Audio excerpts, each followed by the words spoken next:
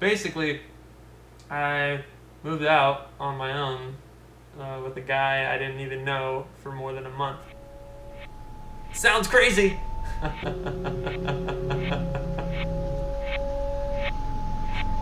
it is crazy.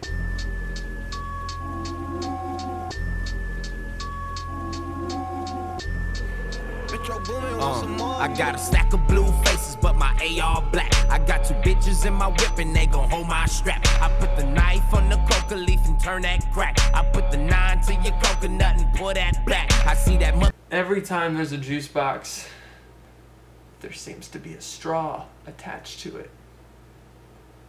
Almost as if they think we can't provide our own straws to drink out of the juice box. They think we're lower than that. They're trying to supply us our own straws, like we don't have any. How hard is it to find a straw? They must think it's very challenging, so they give it to us. They're like, here's your straw, here's your juice box, drink it up. what do they know about mathematics? 14% of the population are people, and they know nothing? Who are they? Jon Snow. That was cheap. Yeah, I took it. Jeez.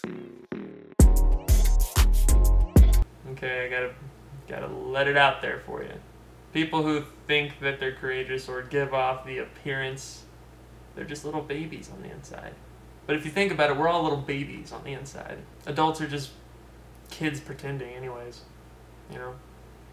That childlike, imaginative, pure way that we are when we're younger doesn't disappear. We just put it in a box inside of us. We put a mask over ourselves and we call ourselves adults and get jobs and work and get money and.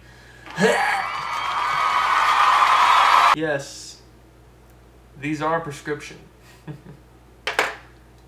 Many have stopped me on the street saying, Zach, why are you wearing glasses now? and I slapped them right in the face. I have been wearing contacts since middle school. Uh, a classmate of mine, Emily, maybe, I don't know her name. She would laugh at me because I would sit there at the board in the classroom going like, what is that? And she's like, uh, look, I can't see. Shut up, Emily! Shut up! And I ran to my mom and I was like, Emily's making fun of me at school! I can't see the board and I keep going like, why would you do that? It messes up your sight. Mom, I don't know these things. And shortly after that, she got me contacts. I started wearing them, getting used to the pop, pop, pop.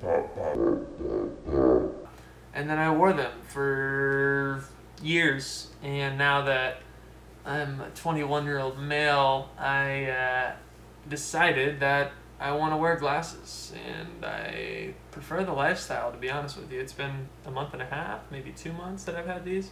And I like it. I like having glasses. I like, I like getting up and being able to like touch my eyes. And then all you gotta do is you go like, oh, now I can see.